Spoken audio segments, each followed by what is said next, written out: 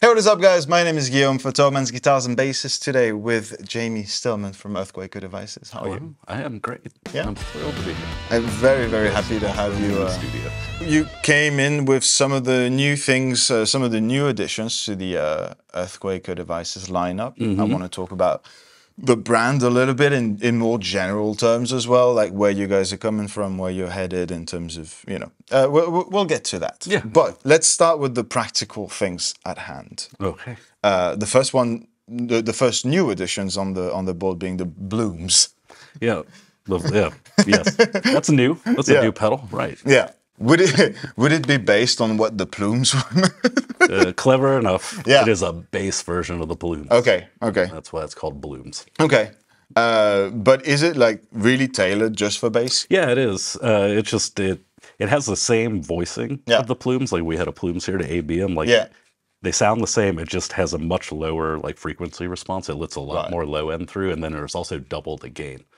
And it works great with guitar too, especially down tuned guitars. But it's just you know the plumes cuts some low end out of the out of the signal. Right. So this puts it back. Yeah, yeah. I, I, I gotta say, like, I, I had no idea that it was not meant. Like, if you, if nobody tells you that it's not meant for guitar, you're gonna use it with guitar, right? Right, And it sounds p- pretty phenomenal.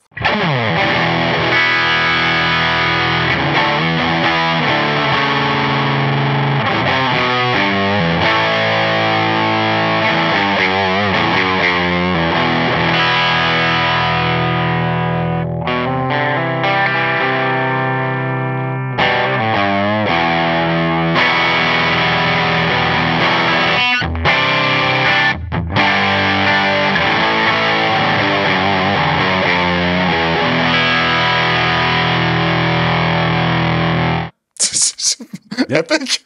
yeah, I mean it's it's like the same tone of the Blumes. Like the mids are still pushed. It's still Yeah, yeah, kind yeah. of a tight response, but like Yeah. the low end is is it's much bigger. Yeah, I added the Park fuzz on the because you guys know me and you know that this is my favorite fuzz, and so we. Uh, I just wanted something in there just in case. Just I knew we were going to play with delay and modulated delay uh, to hell and back today, but I still wanted to have the option.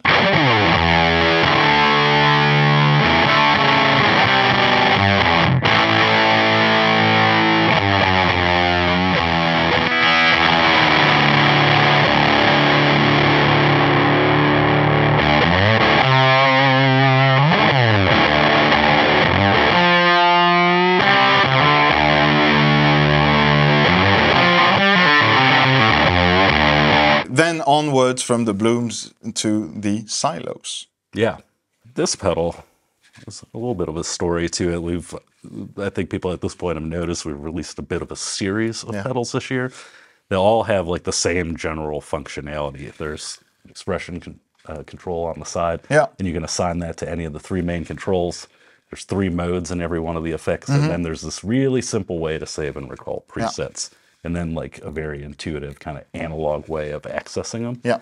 So that whole concept is like I wanted to make these like really easy to use kind of uh for lack of a better term, basic effects, but what I mean by that is like delay, reverb, chorus, things like that. But like the there would be a lot of thought and kind of care put into like sculpting the sound. Yeah. these. In this one is actually the first one that I worked on silos of this series, like four four or five years ago, but it's the most recent one that came out. Yeah. And it's a digital, analog, and tape delay Mm-hmm. in there. And like the the digital delay isn't really modeled on any particular kind of delay, but the idea, like I really like a thing that I really love about like digital delay is the repeats are like really strong and Yeah. always there, present. You can do like the cool stuttering thing. But sometimes I felt like that could get in the way. So it was like, how do I make a delay where the the repeats are like strong and present the whole time, but they they will eventually get sit in the back without sounding like too lo-fi or too tinny. Mm-hmm. So it's like with every repeat, the super top end kind of gets rolled off, so they immediately go to the back. Right, but right. every one just is present, so it's like really fun to play off of, like almost like a little looper. Like that's how I was looking at this like mode. Oh, that's interesting. Yeah, That's a really cool way to look at it. Okay, the uh, and so that's for the that's for the the digital Digital mode, okay, those are the that- three that, modes, That so- first one, digital, and then analog, Analog, yeah. which is modeled after my favorite analog delay, which is also like the first effect pedal I ever bought. Is a Mm-hmm. KMD analog delay, which is like essentially a Boss DM2 with a tone control. Okay. Okay. Yeah. We'll put a picture on it. I have no clue where. it I is. love I love the thing. Yeah, okay. Uh, Was it like Bucket Brigade type? yeah, it's a bucket brigade. Oh, It's like 300 millisecond delay. It's really Right. kind of like what I liked about it is like the mid range. Okay. Like I felt like with the tone control, the mid range was always present, but it kind of got dark as the repeats rolled Yeah. off. Um, and again, it's sort of one of those things where like, the delay's present. You can tell you're playing a delay, but it almost shows up as like reverb, like after the first repeat. Right, okay, okay. like that cloud underneath what you're playing. You know, a little bit, little, little dark, little, little dirty. Mm-hmm. And then the last mode is tape delay, which is kind of like we've got two Echoplexes, an EP3 and an EP4, and then a Roland Space Echo, and then these two oil can delays, a, a Telray Ad-n-Echo and a Telray Organ Tone.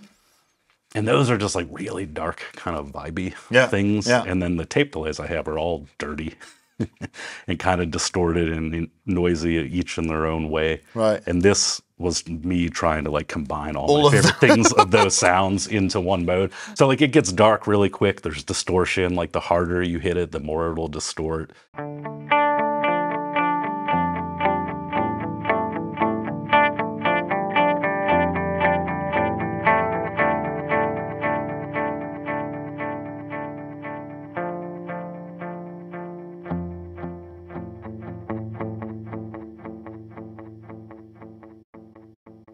No, it's just like it's Yeah, it's so you can hear like what I what I mean. Like they're still very strong and like present, but they will go to the back and Yeah. like not get in the way unless Yeah. you want them to. If you play like really staccato, like, Yeah, yeah, hard off of it. When you get into the uh, analog and the tape delay, they do go into self oscillation and they'll build up. Like it depends on how hard you're hitting, Yeah, it, yeah. but they'll build up like starting like around one. So I'll leave it there. I'll just flip over, Okay. and then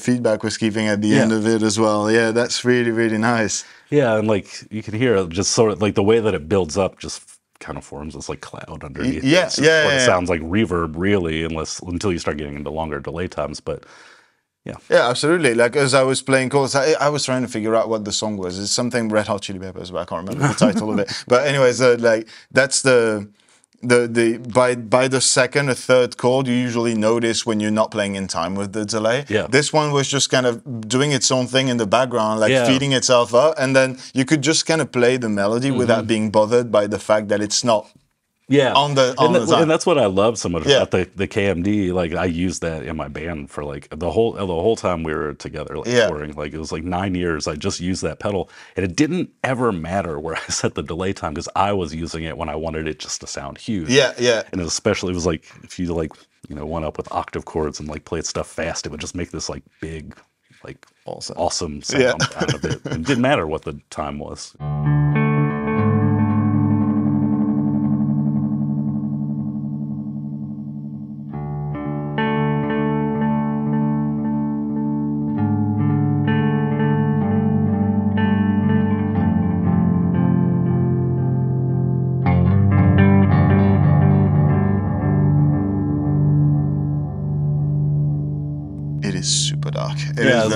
And it like makes it. It's kind of like a just like a vibey thing, and then if you hit the strings really Yeah. hard, it'll distort in its repeats. Okay.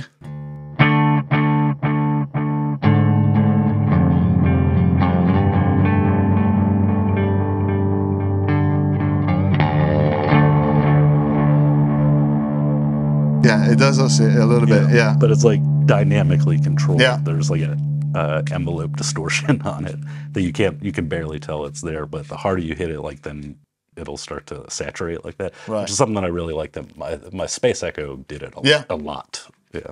Moving on. so- the Astral Destiny I put on the board because I, I found absolutely gorgeous. Uh, this pedal came out four years ago. I want to say like Yeah, 2020. something like that. Yeah, but I had worked on it for years up to that point, and like where Astral Destiny started Yeah. is so different from where it ended. It started as just this like crazy modulated reverb, and then ended as this what I think is just a very nice octave reverb. It also has crazy modulation in Yeah, it, but yeah. like, I think it has like some pretty unique uh, functionality Okay. and like kind of sounds in it that aren't typically in like a lot of like reverbs.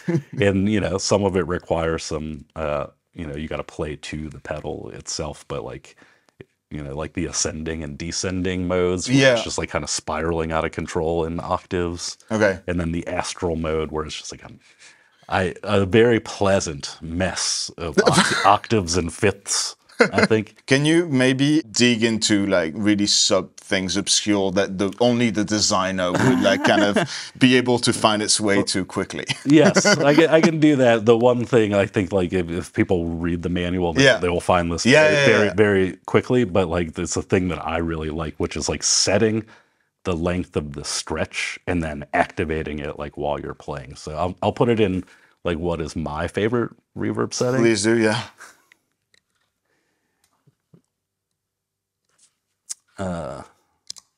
I'm going to turn the modulation down a little bit just so it's not so crazy. and then if you play, I'll, I'll show you. All right.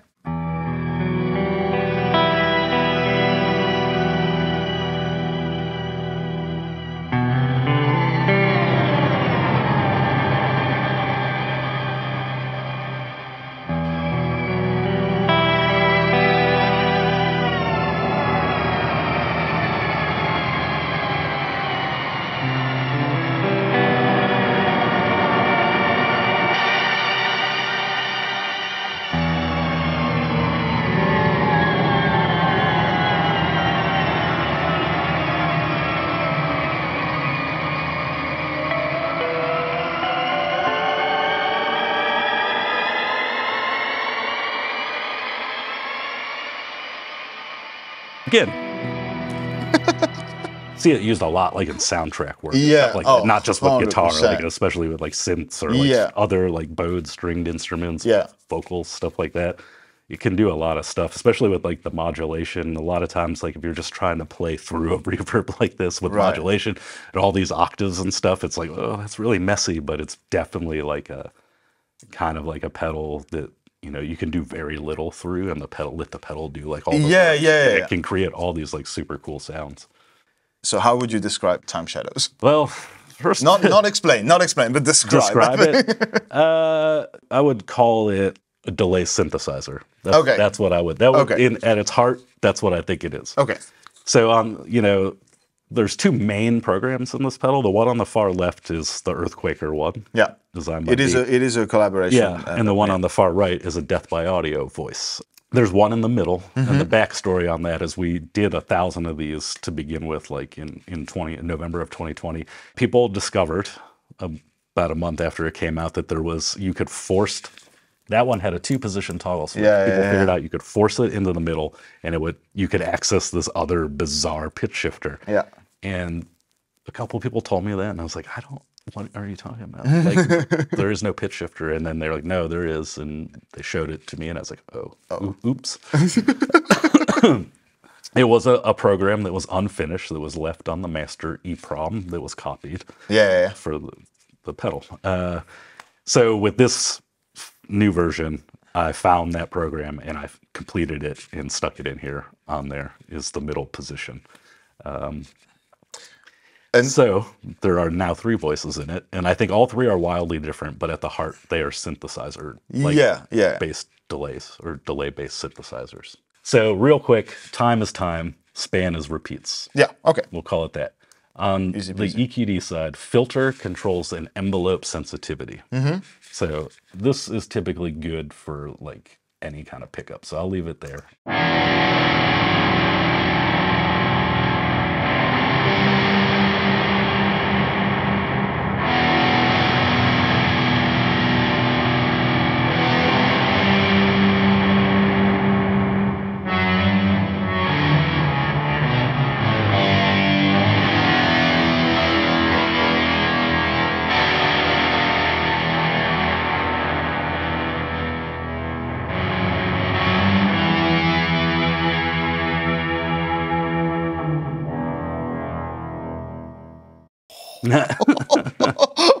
what is is this? okay. I, I view this voice as like a very symphonic kind Oh, of yeah. effect. Like to Oh, me, it this is a sounds like Zimmer it sounds like like brass and like cello and like timpani, like all Yeah, at the yeah, same yeah, time. yeah. This voice is dynamically controlled. Like there's an envelope that not only sweeps the filter, it Yeah. also opens up a VCA. okay. So the guitar gets turned into a square wave fuzz, run parallel with the sub octave, goes into this VCA, and then goes into a delay. So the VCA will, uh, sorry, through the filter into the VCA into a delay. So the filter frequency, Yeah. yeah. No, I'm good. I'm good. I'm the I'm filter following. frequency, Yeah. and the VCA will like close at different rates, open and close at different rates. So like, it acts like a gate, the VCA at the Yeah. end. So as soon as you're done playing, that shuts, but it like still resonates within the delay. Yeah. Okay. But if you turn like the delay off and like you kind of start playing really lightly and then like build up into it, it does this really cool kind of like bowed guitar sound, I think.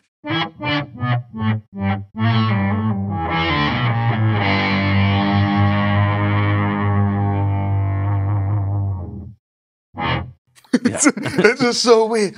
Wow. And then like if you turn the filter all the way up and just play like big chords, Yeah, it's like this massive sub octave distortion. Like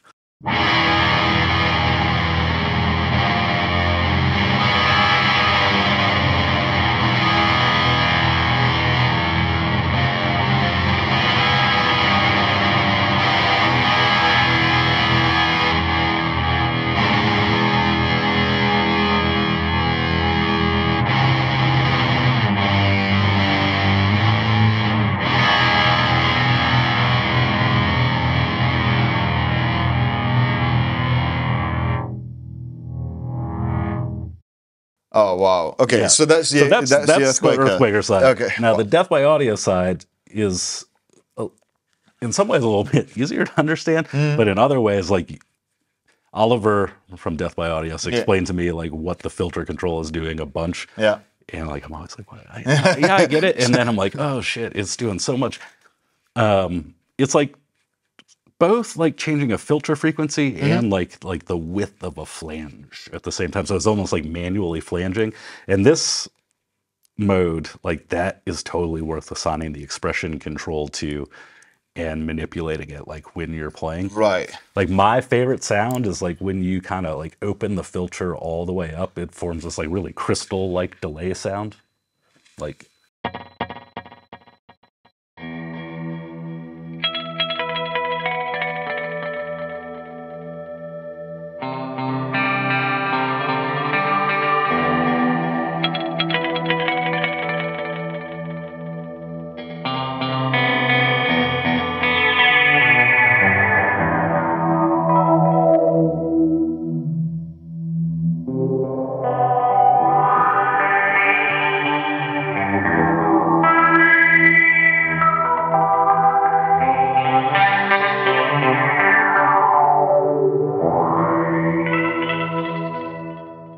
It's that's that's kind of wild in itself. Like the fact that there was like how much communication was there like between you guys developing those Not things and very like, much. Like coming it- together. there was like a there was a like a set of rules essentially like Okay, three okay. controls that's all you get Right. that's it and Right. then you know like an idea of what i think my voice was done first like Yeah. a kind of an idea of like what mine was and then it was like go Yeah. and like without hearing it like they were I, I feel like they were very similar i think we each tweaked ours just a little bit like after we heard the other one Hmm. yeah, it's yeah. like that's that yeah That's epic. uh, and then this middle one Yeah. is bananas. I mean, that's I can I'm aware of it. Uh, like what what is happening in it is is two 500 millisecond delays running in parallel. Yeah. One of them is shifting up a third, and one of them is shifting down a cent with every repeat. And you know, again, it's one of those things you just try to play a bunch of chords through it. It's, kind of, it's Yeah, total yeah, yeah. total chaos. But like if you play like really rhythmically and like staccato, like you can do some really cool stuff with it. I also find that like playing chromatically Oh like, yeah, really, yeah, really works Yeah. well with it.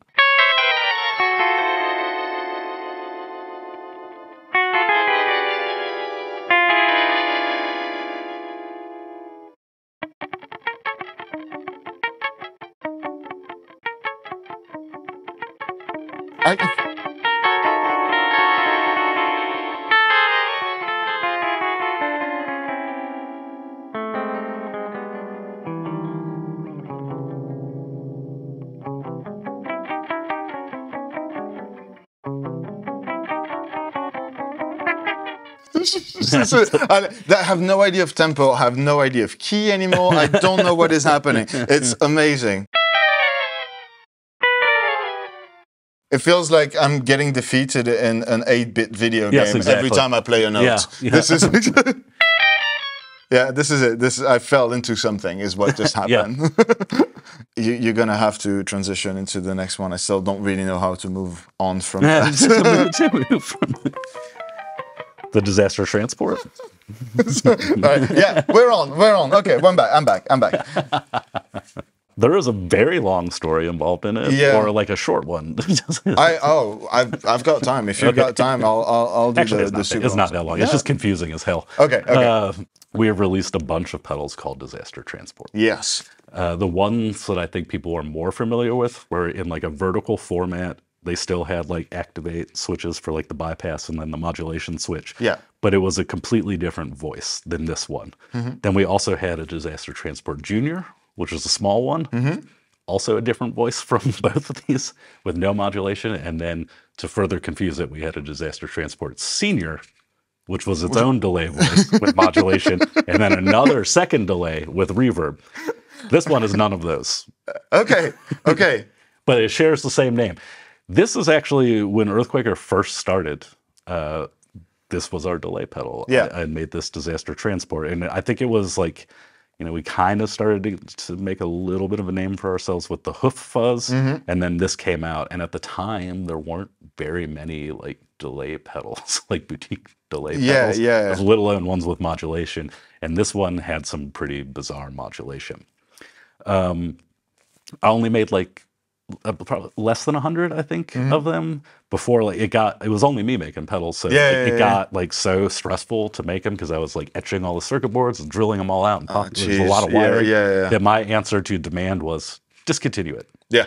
'Cause I can't keep- I can't like, keep I up can't do with it. this anymore. Yeah. yeah, and then like when we first you know got some employees then i brought it back but in that new format Yeah. we would occasionally get these ones back these original ones back in for repair and there was just something about them like every time we'd get them the repair guy would bring it up and be like we got another old one do you want to check it out Yeah. i just really liked it um, and then we started doing this like legacy reissue series a couple Mm-hmm. years ago which is like you know we've been around a long time we you have to discontinue products sometimes For sure. so we would bring old pedals back for like a short run of a of like a thousand or something. Mm-hmm. Um, this is one of those those pedals. Like I just it was always in my mind. Like I loved it so much when I would play through it when they'd come back in. That it's like we should we should redo it as it was.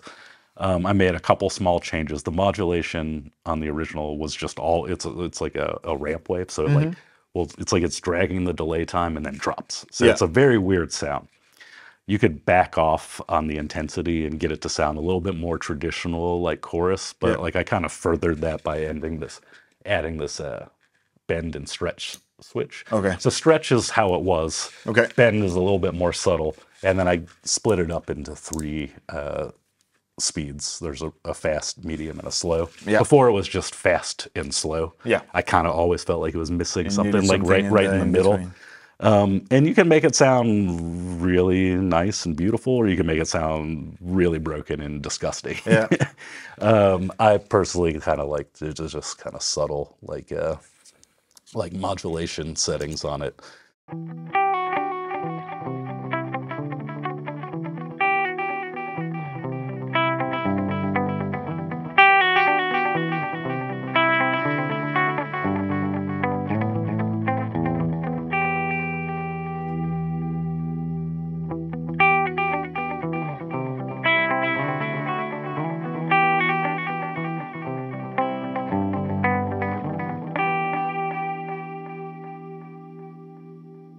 The perfect modulation speed. It's just Yeah, like, it's just exactly where it. No. Yeah, it's like the rate is set, set yeah. kind of high, but it's like backed way off. Yeah, so like yeah, it just kind of adds body to Yeah. it. Exactly. Whereas like if you just bring that intensity up, it's gonna just, Just make it weird. Yeah. Yeah. Okay. Fair enough.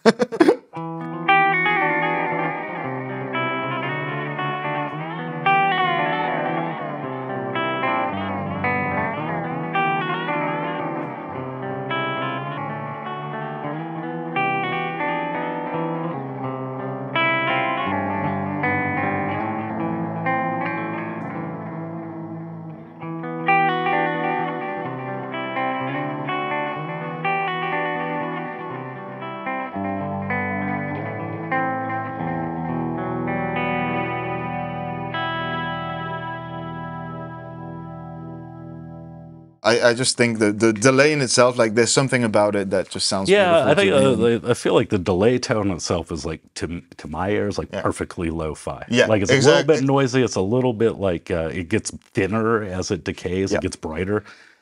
But there's something really pleasant about that, and when you add subtle modulation on it, I feel like it just becomes like like it doesn't get in the way, but it just becomes like thicker and Yeah. just like will No, like, 100%. really, like kind of strengthen the tone of it. But then like you know you could just turn up the intensity and just make it, it goes make other it, make it insane. Yeah, no, absolutely. As a as a pedal maker, uh, do you find yourself going more towards like you know going back to to certain things like the disaster transport? as time goes on, like I mean, our whole line is essentially what my tastes are at the time. Yeah, you know, yeah, you know what I mean, um, and not so much paying attention to like what the trends are at the Mm-hmm. moment, or even like understanding what the trends are. like sometimes I look at stuff, I'm like, whoa, okay.